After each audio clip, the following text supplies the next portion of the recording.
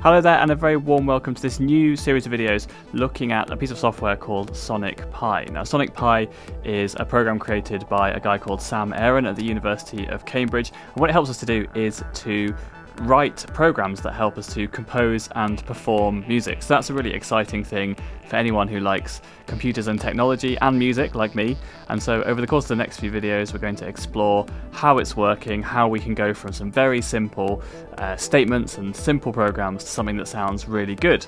And so the music you're hearing behind my voice right now is a piece of music written by Sam Aaron, the guy that made Sonic Pi and he's written all these instructions to the computer that helps it to over time create a piece of music. Now what's really nice about this software is that it's very good for what we call live coding performance, which means that we can change the instructions that were being given to the computer and as we do so, the music will change without the music ever having to stop.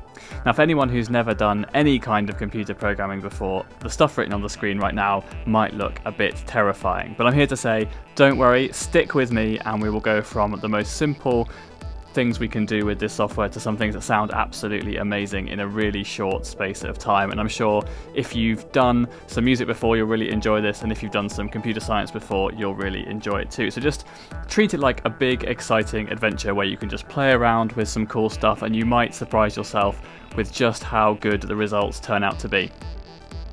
So for the rest of this video, um, I'm not going to say any more, I'm just going to start playing around with this piece and you can hear just how powerful this software is. And then when I come back, we'll have a look at getting started with coding with Sonic Pi right from the very beginning.